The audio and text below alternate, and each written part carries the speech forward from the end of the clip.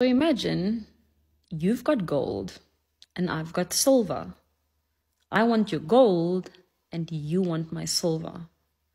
The most obvious way of trading is that I give you my silver and you give me your gold. Yes? Yes. But no. Over the last few decades, America has been able to successfully create the dollarization of trade amongst countries. So, what does that mean? That means that in order for any form of trade to happen amongst countries, you need to use the dollar.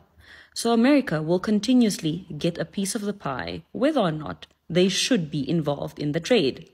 Now, does it make sense for America to get any amount of money if I am giving you my, my silver and you giving me your gold? Why is it that they should get a piece of this pie? So along came BRICS, and over the years, BRICS has gained momentum.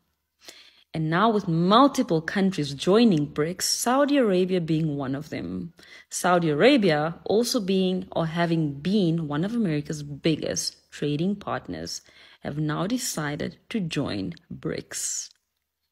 So, what does this mean for America?